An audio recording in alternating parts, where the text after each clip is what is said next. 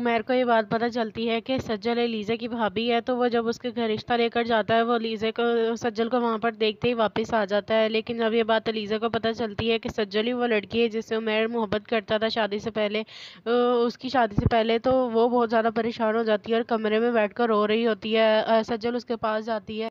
उससे बात करने और उसको समझाने कि वो जो कुछ सोच रही है वो बिल्कुल गलत है। उमेर जैसा भी है, वो हम एक दूसरे से पहले मोहब्बत करते थे, लेकिन अब नहीं करते। अलीज़ा अपने कमरे में रो रही होती है, सजल उससे बात करने जाती है।